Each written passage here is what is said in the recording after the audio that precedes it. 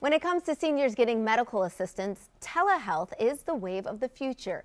Fortunately, in Baltimore City, there's what's known as telehealth intervention programs, or TIPS for short. Here to tell us more is Heang Tan, the Deputy Commissioner of Aging at the Baltimore City Health Department. We also have Dr. George Hennawi, Chief of Geriatrics and Director of the Center for Successful Aging at MedStar Good Samaritan Hospital. Welcome, you two. Thank Happy you. to have you here. Thank you so I want to start with you. Tell us a little bit more about what TIPS is. Sure, Elsa. Thank you so much for having us here today.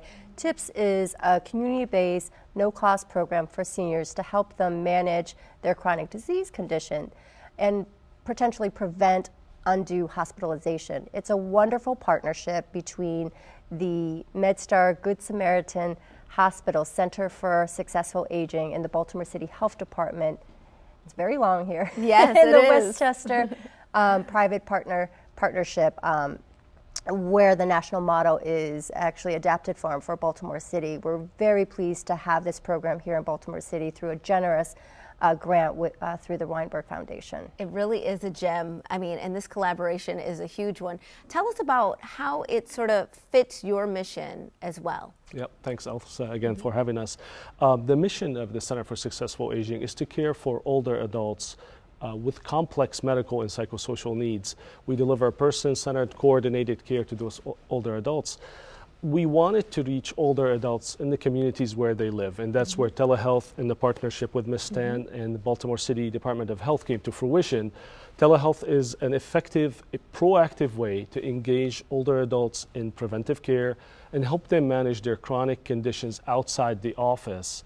Um, as um, the Deputy Commissioner mentioned, reducing the unnecessary emergency room visits. Yes. And so when your staff goes into the Zeta Center, what happens there? Yeah. Um, every Thursday, a trained undergraduate health sciences student visit the Zeta Center. The student will perform assessment of vitals, blood pressure, heart rate, oxygenation, weight. The data is uh, transmitted through a secure wireless network to the nurse at the Center for Successful Aging. The nurse monitors the data and intervene immediately as needed with the patient or their primary care provider to keep them healthy. And on top of that, they get what's called a tip sheet that have all those information for their record. All right, so I know that we have a personal testimonial, and we'll hear that now. I belong to the Zeta Center for the last eight years. And when they told us about this new program that they were having coming here to be able to help us check our pressure, see what our blood pressure is like, see what our weight's like, we have any problems. And I signed up immediately. Uh, I was thrilled because after we started the program, I was able to take each one of our forms that we get showing what we've done this week to my primary care doctor, who was really pleased with it because I can keep track of what I'm doing. They also check and see if your medication is, is changed, if you're doing anything that's caused problems for you. And then they make you feel comfortable knowing that you can come in and just be able to get your weight, your blood pressure, and have your um, oxygen level checked and see if you're doing okay. And I think it's just terrific. And as we can hear from her, she's really happy to be a part of this program. How can seniors that are watching right now get involved with the TIPS program? Well, I think the beauty about this program is that it's free and open to all older adults who want to be part of this program.